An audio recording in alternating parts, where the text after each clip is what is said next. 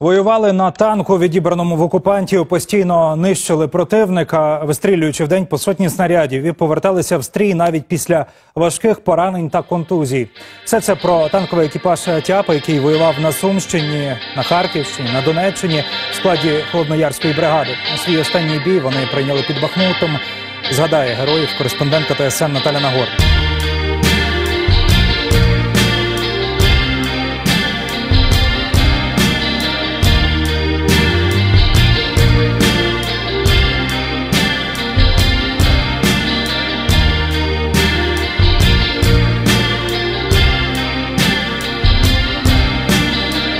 Ситуація досить ну, напружена, але ми все ви- витримаємо, переможемо і все буде добре.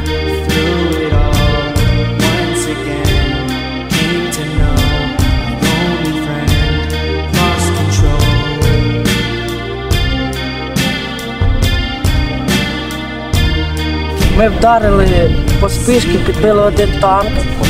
Потім вони ті танки відійшли назад е, до своє там логово, там такий спуск був, відійшли назад. Я далі стояв, діжурив, потім на мене вийшов.